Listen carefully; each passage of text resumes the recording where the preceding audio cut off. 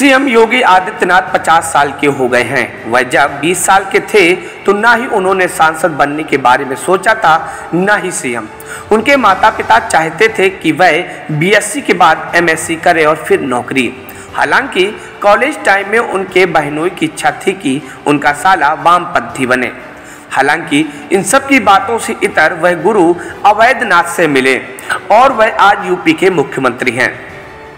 College में admission के बाद छात्र राजनीति में हुए एंट्री, दोबारा यूपी के सीएम बनने पर राजनीति में योगी आदित्यनाथ का कद आज और भी बढ़ गया है। हालाँकि अजय सिंह बिष्ट से लेकर योगी आदित्यनाथ और यूपी के सीएम बनने तक का उनका सफ़र आसान नहीं था। उनका जन्म 5 जून 1972 में उत्तराखंड के पौड़ी गढ़वाल जनपद के पंचूर गाँव में हुआ था। उन्होंने आठवीं तक की पढ़ाई पास के ठांगर के प्राइमरी स्कूल से की।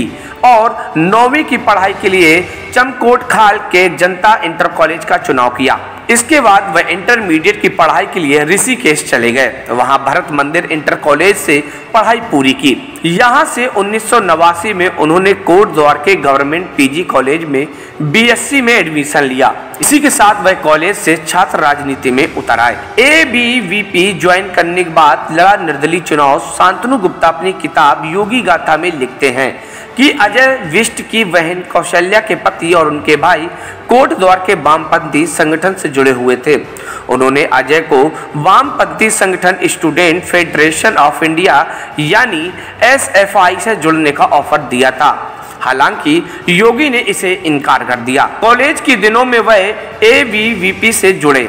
अजय विष्ट ने पहले सात संगठन से जुड़कर प्रचार किया, फिर अगले साल चुनाव लड़ना तय किया।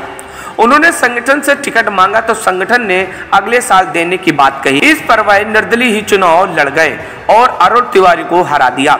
अजय विष्ट की माँ सावित्री देवी चाहती थी कि वह सरकारी नौकरी ज्वाइन करे। इसके लिए उन्होंने बेटे की पढ़ाई में कोई कमी नहीं छोड़ी।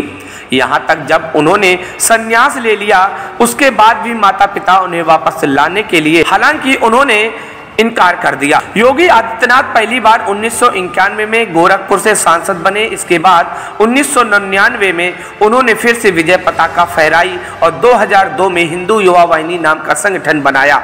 2004 में तीसरी बार और 2009 में चौथी बार उन्होंने गोरखपुर सीट पर जीत दर्ज की। 2014 में पांचवी बार वह गोरखपुर सीट से सांसद बने।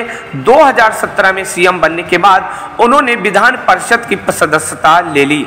2022 के चुनाव में गोरखपुर से ही उन्होंने पहली बार विधानसभा चुनाव लड़ा और जीत दर्ज की। Bureau report, IPN.